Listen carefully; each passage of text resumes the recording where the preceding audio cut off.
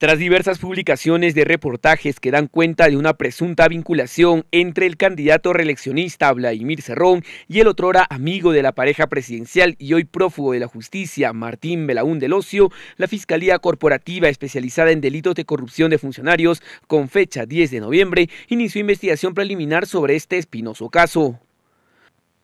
de las que ya se conocen, vinculadas a Martín Belaúnde Locio.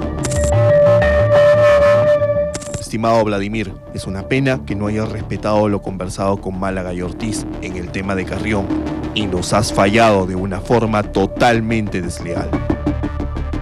Ya no es una empresa en quiebra, se trata de empresas conocidas que lograron adjudicarse obras millonarias.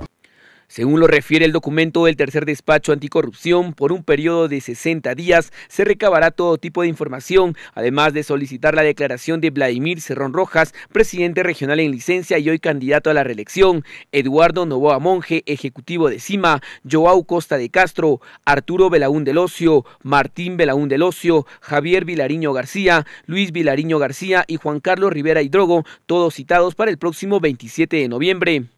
La relación se había deteriorado unos meses antes, cuando Belaunde le pide que le devuelva el dinero prestado. Estimado amigo,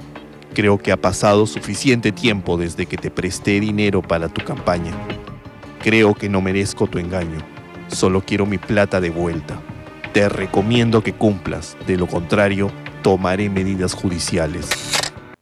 Además de las declaraciones de los implicados en esta investigación, la Fiscalía Anticorrupción también ha solicitado al actual presidente regional toda la documentación contable, financiera y técnica de las obras Puente Comuneros y Eternidad, las mismas que ahora están en la mira del Ministerio Público, que decidirá en 60 días si hay los suficientes indicios en este caso como para proceder a denunciar formalmente a quienes resulten responsables.